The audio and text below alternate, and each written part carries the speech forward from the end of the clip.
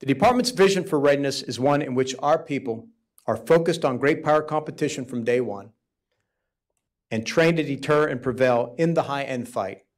while able to perform across the full spectrum of combat operations. 周四，美国防长 Esper 在华府智库演讲中谈到，落实美国国防战略首要任务之一就是提高军事准备度。他特别提到，为应对中共威胁，美国军事教育重点已经转移。 our path forward also relies on service level training and professional military education that develops the expertise of our force on Chinese military systems, tactics, and doctrine, much like my generation did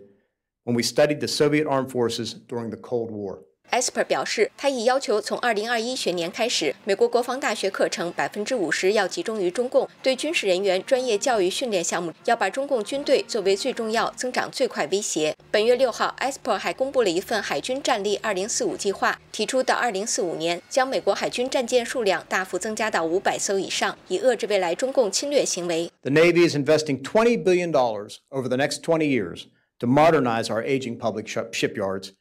recognizing the impact that these improvements will have on our goal for Battle Force 2045, the modern 500 plus ship Navy I outlined last week. 唯有足够力量应对当前挑战，尤其是中共，Esper 希望国防部每年预算能够有百分之三到五的实质增长。新唐人记者王凯迪，美国首都华盛顿报道。